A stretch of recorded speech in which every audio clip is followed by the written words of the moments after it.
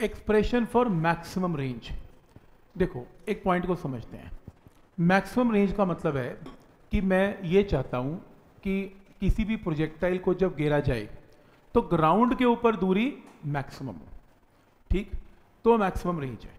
जैसे इमेजिन करो, एक गेम है जेवलिन थ्रो उसमें वो नीरज चोपड़ा नंबर वन है। तो उस, उसमें बेसिकली क्या सिखाया जाता है? जब आप, देखो जेवलिन कुछ नहीं है प्रोजेक्टाइल है। जब आप उस प्रोजेक्टाइल को फेंकते हैं तो वो बहुत हाइट अटेन कर ले, वो अच्छी बात नहीं है, क्योंकि गेम दूरी की है। उसमें ये चेक होता है कि रेंज मैक्सिमम होनी चाहिए, ज़मीन का डिस्टेंस जो है वो ज़्यादा होना चाहिए। हाइट से लेना देना नहीं कुछ भी।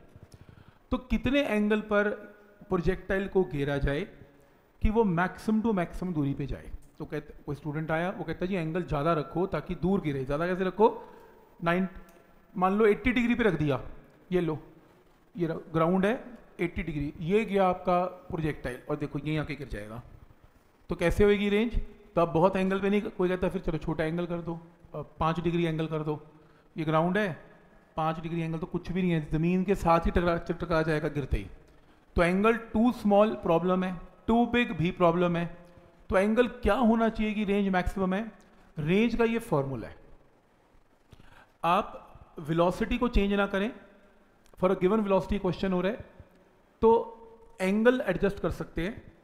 एंगल ऐसा चूज़ करें कि साइन ऑफ़ ये पूरी वैल्यू अपनी मैक्सिमम वैल्यू थे मैक्सिमम वैल्यू साइन ऑफ़ किसी भी एंगल की क्या रह सकती है? वन तो यानी कि अगर ये टर्म वन आ जाए तो रेंज अपने आप क्या जाएगी? मैक्सिमम और ये वन कब आएगा? जब साइन ऑफ़ अंदर का एंगल क्या होगा? 90 क्योंकि साइन 90 क्या होगा? वन और अंदर का एंगल टू थीटा जब 90 है तो थीटा क्या होगा? 45 तो ये रूल है स्टैंडर्ड रूल है. 45 डिग्री के ऊपर उस चैपलिन को फेंकें, आपके पास रेंज मैक्सिमम आएगी. तो कोई भी ये गेम खेलेगा मैक्सिमम रेंज की तो हमेशा 45 डिग्री पे ही प्रोजेक्शन होगा रेंज अपने आप मैक्सिमम आएगी. मतलब अगर मेरे पास चार स्टूडेंट आए, वो बोलते हैं कि हम सारे ज़्यादा से ज़्यादा 20 मीटर पर सेकंड से एक बॉल को गिर सकते हैं. एंगल आप बताओ क्या रखें? कि वो बॉल मैक्सिमम दूरी पे गिरे। अगर कोई 30 डिग्री रखेगा, या कोई 60 रखेगा, या कोई 80 रखेगा, या कोई 45 रखेगा तो आंसर क्या होगा? 45 वाला स्टूडेंट जो है, वो मैक्सिमम दूरी पे गिर पाएगा। तो क्या ये पॉइंट क्लियर है यहाँ तक? तो लिख लें मैक्सिमम रेंज कब होगी जब थीटा क्या होगा? 45 ये रूल लिखें, और ये भी लिखें साथ में मैक्सिमम रेंज का फॉर्मूला क्या बन जाएगा फिर? अगर आपको रेंज मैक्सिमम चाहिए इसको उठा के वन पुट करना पड़ेगा। बचा हुआ फॉर्मूला क्या बना? वी स्क्वायर बाई जी ये नोट कर लें, ये आता है पेपर में न्यूमेरिकल्स में, कि मैक्सिमम रेंज निकालें तो मैक्सिमम रेंज निकालने के लिए या तो ये याद रखें कि एंगल 45 डिग्री है, या ये सीधा फॉर्मूला याद रखें मैक्सिमम रेंज का formula V square by G है।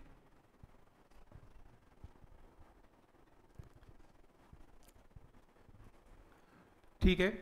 तो मैक्सिमम रेंज कब आएगी? जब एंगल ऑफ़ प्रोजेक्शन क्या होगा? 45 दूसरा, ये जितने भी फॉर्मूलाज हैं, ये टावर के टॉप से जो हमने लास्ट टाइम प्रॉब्लम की थी, उसमें नहीं लगेंगे ये। ये ग्राउंड टू ग्राउंड के प्रोजेक्शन में लगेंगे।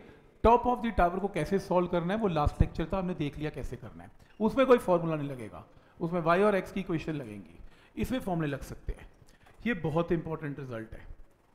रेंज रिमेन सेम अगर एंगल ऑफ़ प्रोजेक्शन थीटा या 90 माइनस थीटा हो मतलब अगर आपने एक प्रोजेक्टाइल को 30 डिग्री से फेंका, या आपने प्रोजेक्टाइल को 90 माइनस थर्टी यानी कि 60 से फेंका प्रोजेक्टाइल सेम दूरी पे जाएगा। यानी कि या तो आपने प्रोजेक्टाइल को 10 डिग्री पे घेरा, या 90 माइनस दस कितना?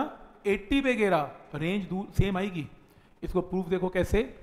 जब आपने थीटा पे गिरा तो रेंज का फॉर्मूला क्या डराइव किया था? V square sine two theta by G लेकिन जब आपने 90 माइनस थीटा पे गिरा तो क्यों ना ऐसा करें, ऊपर वाले फॉर्मूले में थीटा को रिप्लेस करें 90 माइनस थीटा इसे ओपन करें 180 एट्टी माइनस टू थीटा मैंने आपको क्वाड्रेंट्स करवाए थे। क्वाड्रेंट का क्या रूल था? अगर ये 180 है तो साइन साइन रहेगा और ये टू थीटा यहाँ पर आ जाएगा। तो देखो चेक करो रेंज का फॉर्मूला सेम है। तो बस आप ये लाइन लिख लें फॉर्मूला रजिस्टर में। रेंज रिमेन सेम अगर एंगल ऑफ़ प्रोजेक्शन कितना है? थीटा या 90 माइनस थीटा? ये लाइन लिखे इंपॉर्टेंट लाइन है।